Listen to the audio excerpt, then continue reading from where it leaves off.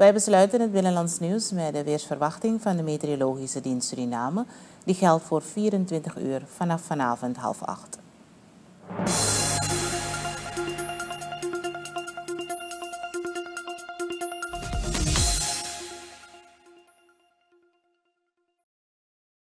In de kustgebieden kan er aan het begin van de dag een enkele regenbui voorkomen.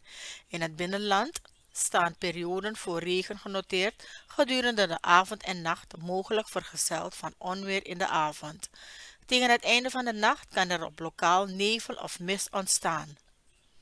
Morgen zullen er voornamelijk tijdens de middag lokale buien voorkomen, soms gepaard gaan met onweer.